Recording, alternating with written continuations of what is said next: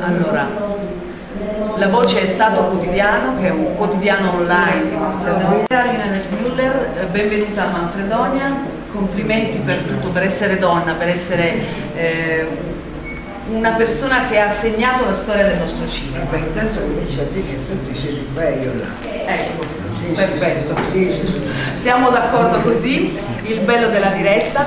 No, il bello è di stare più alti. Ah,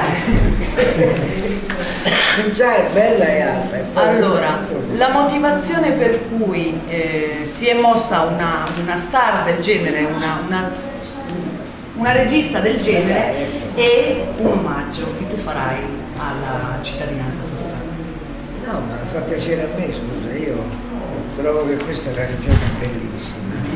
E non so neanche se è giusto fargli tanta pubblicità, perché da una parte poi arrivano i turisti distruggono tutto. Brava. Allora io non so se è meglio che arrivino tanti turisti oppure no. Il progetto della città vuole accogliere il turismo, infatti, infatti l'agenzia del turismo che sarà presente tra poco farà proprio questo. Che farà? Farà tante cose, tra cui una cosa che le riguarderà personalmente, ma verrà contattata in un'altra sede. No, ma io dico che farà rispetto alla Ambierà il, il- il raggio di azione di questa città a- aprendola al turismo in varie maniere, in varie sfaccettature. Io voglio dire, se voi vi aprite di più al turismo, siccome la regione è bellissima, È un paradiso selvaggio infatti il è Gargano. ancora abbastanza vergine, diciamo, bisogna farlo. No, parla te o parlo io, non rompere le scatole poi. Tra, tra, Tra, tra. Ah, posso parlare? Sì, volevo dire questo. Proprio perché è un paradiso, ma molto ben studiato come aprire al turismo, perché i turisti sono peggio che le cavallette, capito? Sì, vabbè, portano dei soldi, però distruggono tutto quello che poi fa venire dei soldi, quindi attenzione, un circolo vizioso.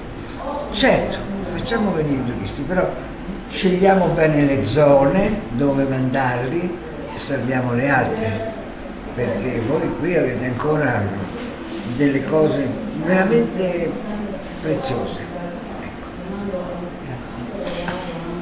Eh, a me viene subito da farle una domanda farlocca, se Ecco. posso. Ecco. Sarà banale, sarà- gliel'avranno fatta in mille in mille, però l'idea, la genialità di avere un film con un titolo lunghissimo, come le viene? Le pensa di notte? Le, le- le- le immagazzina in un anno e poi le esplode? Cosa, cosa succede dentro di lei? Nasce dal fatto che sono dispettosa. Mm. E allora siccome so che in generale i produttori amano i titoli con una parola, Mm. altri per loro è io, ecco, per allora lo scrivono grosso grosso. E allora io, così, proprio per dispetto, faccio sempre dei titoli lunghissimi, però è una finta, perché poi in realtà se dopo solo la prima parte di questa cosa. Cosa ne pensa del cinema d'autore italiano oggi? Eh, beh, insomma, noi facevamo 250-300 film, ne facciamo 25-30, che devo pensare che la tragedia sia Di chi è la colpa? Eh, anche nostra. Perché? Perché le cose vanno amate, vanno difese, vanno aiutate, vanno insomma, e qui invece c'è un galoppo a chi se ne frega, è caratteristico di noi italiani, c'è tante virtù ma anche tanti difetti. Secondo lei un- un- una persona di spettacolo quale Grillo, attualmente predestinato forse a governare l'Italia, potrebbe avere un occhio di riguardo per gli artisti? Ora dobbiamo parlare pure di Grillo, No, ma non ne parla abbastanza lui stesso. no, voglio sapere se lui Lasciatelo- potrebbe, potrebbe fare qualcosa per gli artisti. Lasciatelo gridare, lui è Un è un attore che grida e si è fatto sentire, ha avuto successo, adesso vediamo che fa, perché una cosa è distruggere, che è facilissimo, un'altra cosa è costruire, molto più difficile. Io direi Ok. che la piccola intervista è il, il tempo prezioso di Lina Ok, potrebbe grazie. Assolutamente uno staff meraviglioso e l'assistenza è stata molto professionale. Bene, io vorrei subito qui al nostro fianco, perché con lei andremo a vedere un po' tutto il programma, ci dirà, ci dirà due parole su ognuno di quelli che saranno eh, gli appuntamenti di questi due giorni, è con lei che ha voluto tutto questo e coordinerà tutti i lavori. Rita Rungetti. Buonasera Rita, appropriati del microfono. Buonasera a tutti. Bene, possiamo allora già dare, Sì, entriamo direi nel vivo visto che siamo già un po' in ritardo. I lavori del cantiere devono incominciare. Devono subito. incominciare, li annunciamo e giusto eh, qualche parolina su come sono venuti fuori, come si è pensato di farli e anche eh, cosa si è dovuto fare per organizzarli. E Quindi molto- soprattutto che cos'è il cantiere 8 marzo? Perché qualcuno magari se lo chiederà. Ma forse la prima domanda Forse qui, sì. ehm, che dovremmo rivolgere a te. Sì. Che cos'è il cantiere? Allora, questa idea è venuta veramente, eh, ce l'avevo già un po' nella testa eh, perché sentivo proprio l'esigenza di incominciare a, a riuni- a incontrare le donne, ma non perché dovessimo parlare di noi stesse, ma perché vedevo incontrandole eh, nei, vari, nel- nei vari contesti, nella vita privata, nella vita, tan- tante donne, tanto valore, tanto talento, tanta energia che Eh sì.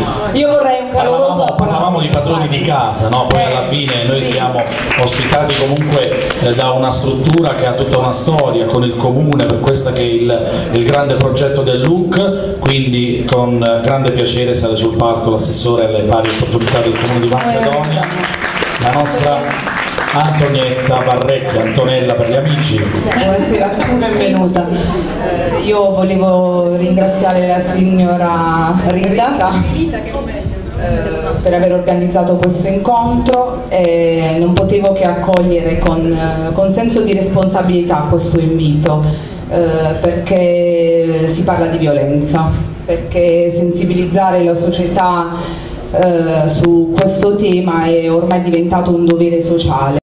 Eh, Simona Salatto e eh, la moderatrice di questo panel Antonella Caruso, giornalista del Corriere della Sera. Quindi salutiamo tutte, le ringraziamo ovviamente per averci raggiunto. che eh, chiedo naturalmente, vorrei partire proprio anche dalla, dalla nostra ospite antropologa. Io insegno anche, insegno nelle scuole superiori, in cui insomma i ragazzi sono, i ragazzi e le ragazze sono in quell'età eh, di passaggio particolarmente importante e delicata. E quello che ho notato in questi anni è una sorta di, di minore consapevolezza delle ragazze del doversi in qualche modo attrezzare culturalmente per poi affrontare, eh, come dire, da pari a pari il ragazzo, il padre, eh, il datore di lavoro. Cioè io quello che ho notato è una minore consapevolezza delle giovani generazioni e non solo delle ragazze, anche e soprattutto dei Quello che io invece notavo è una contrapposizione fra disinformazione rispetto alla questione femminile, alla- anche ai diritti doveri che eh, un soggetto uomo e un soggetto donna possono esercitare. Eh, dall'altro lato però anche una voglia, una volontà di capire, di comprendere, di imparare nuovi linguaggi del cinema italiano. Lina Merlulla che si accomoderà dopo però aversi dopo aver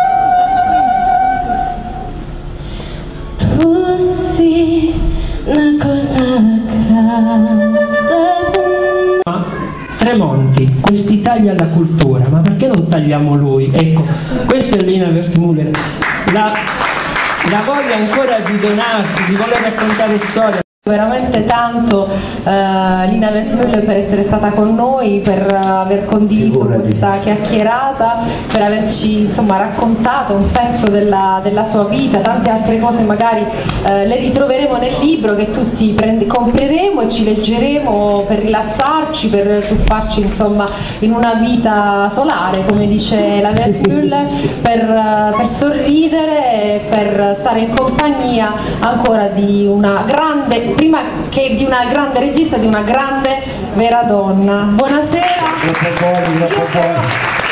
allora ringrazio quindi Lina Vermuller, veramente un abbraccio da Manfredonia, un abbraccio dal cantiere, e è stata No, no, un'emozione grandissima L'unica cosa seria è che se questo nostro piccolo incontro serve per darvi la voglia di volare, come se tutto.